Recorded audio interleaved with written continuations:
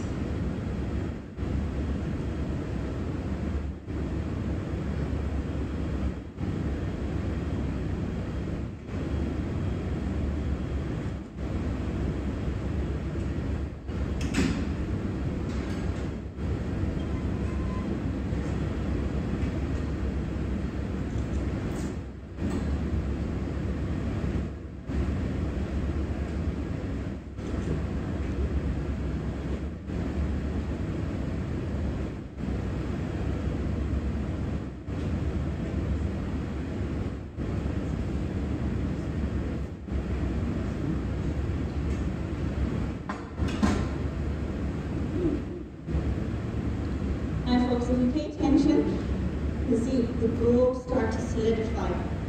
And that's where the dark circle slowly starts to creep into the middle. Once it meets in the middle, it's fully set or hardened. And we'll be ready to flip it out. And that's solid already. So are you ready, guys? Three, two, one. Now, I'm not too worried that any of you are going to hop over here and try to get your hands just yet,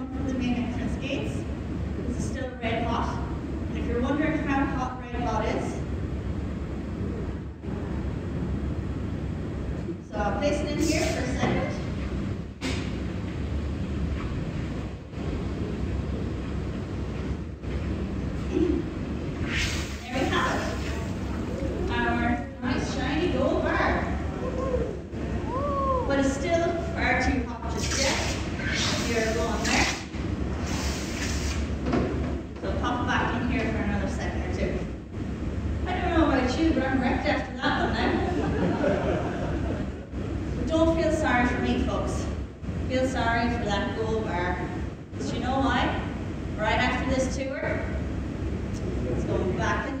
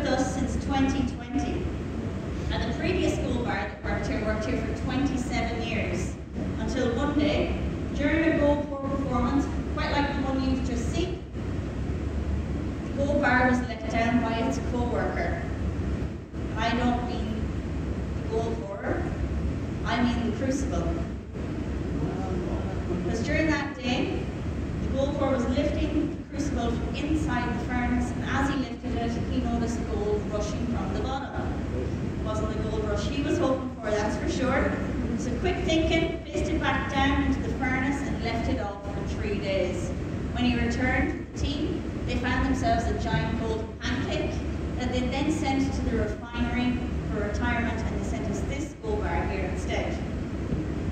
So this gold bar has a little bit of catching up yet to do before it reaches 27 years. But who thinks it's going to be cold enough for me to touch yet? No? Anyone? You think? Do you think so, yeah? Yeah? Do you think it's going to be cold enough? Or is it going to be still too hot?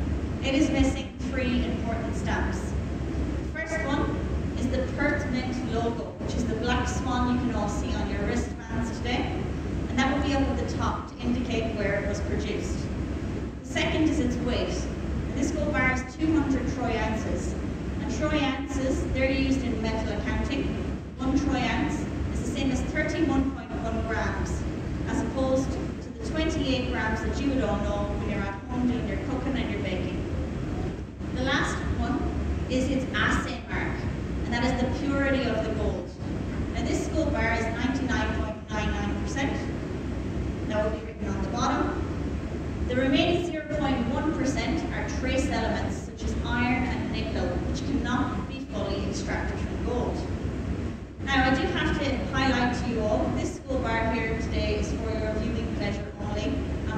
outfit has the parcel with you all in the audience.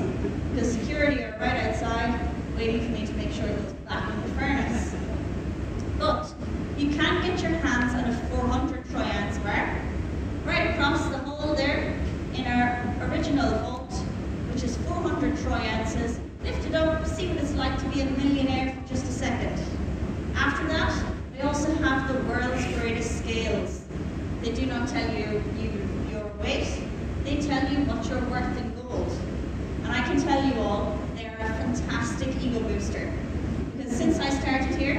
already put on one million.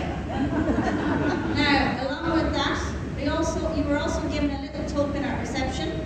Please strike yourself a souvenir in our 1960s coin press in the, after that. And hopefully it will make you all feel very happy leaving here today. Because conveniently located on the left-hand side of that coin press are our customer feedback forms. So if you did enjoy your tour today, my name was Chloe. If you did not, my name was Sarah. Right? Hopefully you enjoy that video and special thanks to Perth Mint for putting on such a great show and doing a great job to what they do. Make sure you give us a thumbs up for Perth Mint. I always like it when people interact with the video. Put some comments down below. Tell me what you think about the, the Perth Mint itself and give us some feedback and make sure if you're not yet subscribed to Dan the Collecting Man, make sure you hit that subscribe button uh, just so I know that you're enjoying the content and you get to see some really cool stuff like this. Thanks so much for watching and joining the coin collecting community. I'll catch you in my next video. Dan.